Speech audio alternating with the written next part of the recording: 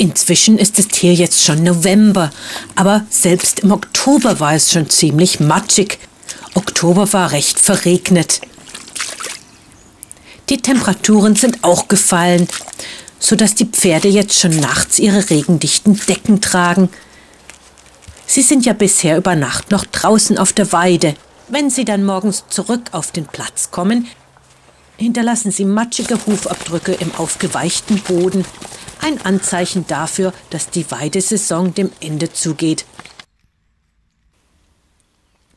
Auf dem Hof ist jemand Neues eingezogen. Turnip, der Welpe. Wie auch Trudi ist er ein Airedale Terrier, aber er ist erst 15 Wochen alt. Trudi und Turnip haben schon Freundschaft geschlossen und verbringen einen Großteil des Tages mit Spielen. Außerdem läuft mir Turnip, wohin ich auch gehe, überall hinterher. Er ist ein sehr neugieriges und selbstsicheres Hündchen. Er findet die Hundeschiebetüre, die wir vor ein paar Jahren für Bob gebaut haben, ganz toll. Ein anderer neuer Zulauf ist unser Gänserich Elvis. Turnip ist noch etwas zaghaft mit ihm. Er hat aber auch einen großen Schnabel. Die Gänse bekommen jeden Morgen ein bisschen Hafer, während ich die Hühner rauslasse.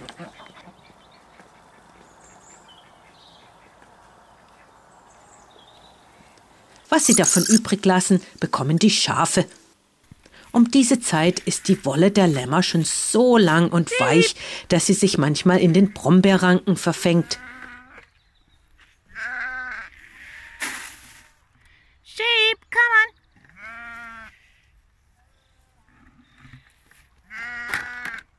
Oh, Sean. Come on, pull, Sean. Mit ein bisschen Hilfe lassen die Ranken dann Sean doch wieder los. Sean. You stuck, are you? Bit stuck? What have you done? Huh? I'll help you out. Hang on.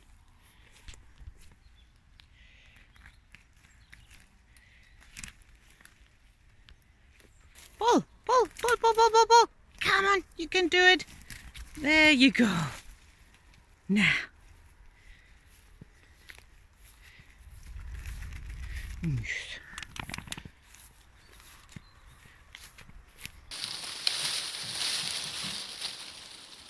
Wenn wir dann den ersten Nachtfrost bekommen, ist es an der Zeit, die Kürbisse zu ernten.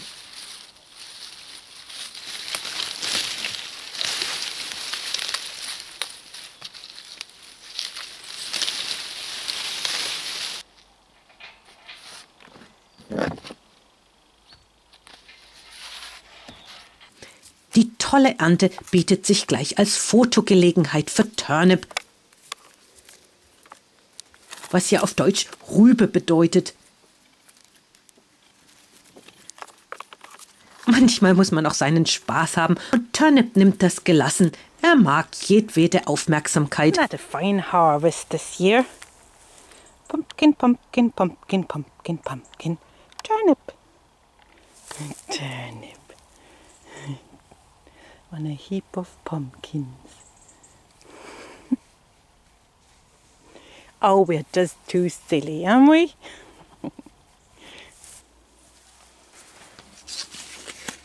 Unsere Ernte fällt bisher sehr gut aus.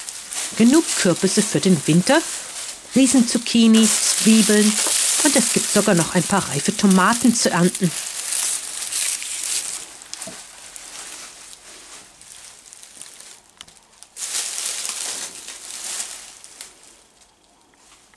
Und schaut euch erst unsere Apfelernte an. Wir haben es noch nicht mal geschafft, alle zu ernten. Und die Vögel hatten auch schon ihren Festschmaus. Der Lauch wird bis Jahresende noch etwas wachsen, so auch die rote Beete.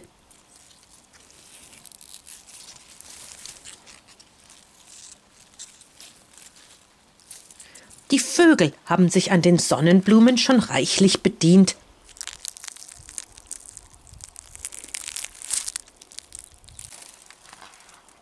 Aber noch genug für uns gelassen, dass wir die neue Generation im Frühjahr pflanzen können. Es gibt noch viele hübsche Farbpunkte im Garten. Die zartrosa Hortensie, der tiefgrüne Kohl, die knallorangenen Ringelblumen,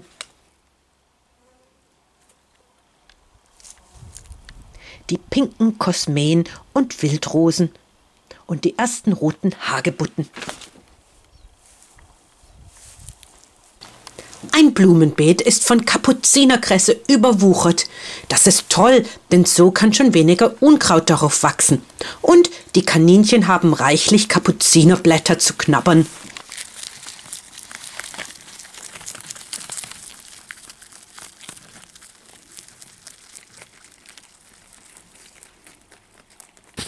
Wozu ich den ganzen Sommer über nicht gekommen bin, ist das Umsetzen der Komposthaufen. Aber an einem sonnigen Herbstnachmittag gehe ich die Sache endlich an, und es dauert gar nicht so lange, bis der eine halb verrottete Haufen umgeschaufelt ist. Denn das Material ist trocken und leicht. Das Umschaufeln des halb verrotteten Pflanzmaterials durchmischt alles mit Luft, so kann alles gut weiterrotten und sich wieder in Gartenerde verwandeln. Ich decke den Komposthaufen mit einem Stück alten Teppich ab, um alles dunkel und warm zu halten, was der Verrottung weiter zugute kommt. Wenn diese Arbeit erledigt ist, habe ich nun wieder reichlich Platz für das ganze Grünzeug, das ich von den Beeten abjäte.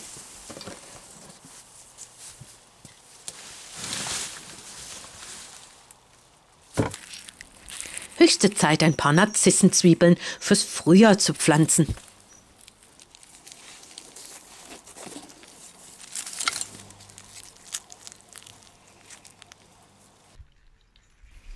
Flora hilft mir dabei, den Pferdemist, den sie und ihre Familie in kleinen Häufchen überall auf der Weide hinterlassen haben, zu verteilen. Das machen wir mit einer Wiesenschleppe. So bekommt die ganze Weide etwas von dem Dung ab. Außerdem verhindert man somit, dass sich Parasiten in den Dunghaufen vermehren.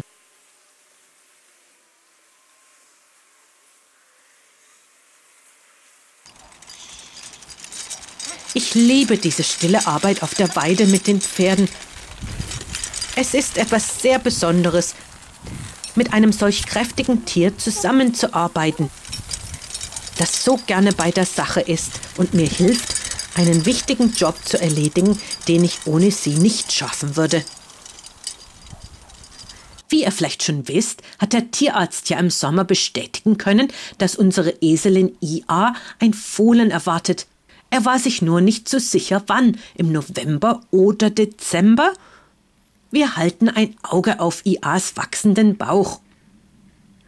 Was der Vater Gordon zu all der zusätzlichen Aufmerksamkeit zu sagen hat?